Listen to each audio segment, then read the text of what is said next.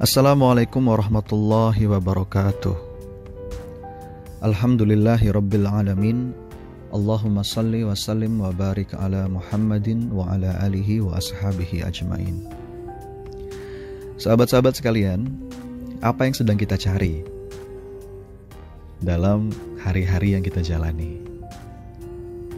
Apa yang sedang kita kejar selama ini? Sesuatu yang betul-betul menyibukkan kita menghabiskan banyak waktu, mengorbankan banyak kesempatan. Apa pun itu, kita harus pastikan pada akhirnya semua yang kita upayakan tidak sia-sia. Jangan sampai di ujung perjalanan nanti semua itu hanya menghasilkan kelelahan dan tidak bernilai. Kapan itu terjadi? Ketika tidak kita niatkan untuk Allah. Karena semua pencapaian hebat kita itu pada akhirnya hanya akan jadi kenangan dan orang akan lupa. Kalau yang kita cari sekedar kekaguman manusia, ketakjuban manusia, ujian manusia, mungkin bisa kita dapatkan itu. Tapi pada akhirnya mereka akan lupa. Maksimum mereka mungkin hanya akan mengenangnya saja. Sudah, sebatas itu.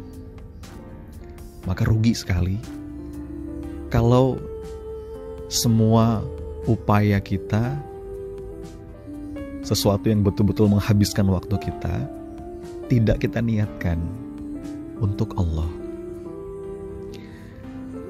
Ada satu ambisi dalam hidup yang akan membuat hari-hari kita penuh dengan kebahagiaan.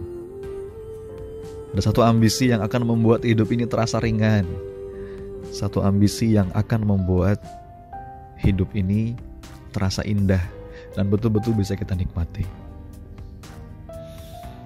Ambisi yang memang seharusnya membingkai semua keinginan dan membingkai semua harapan. Apa itu? Ambisi itu adalah keriduan Allah ambisi untuk menjadi hamba yang diridhoinya.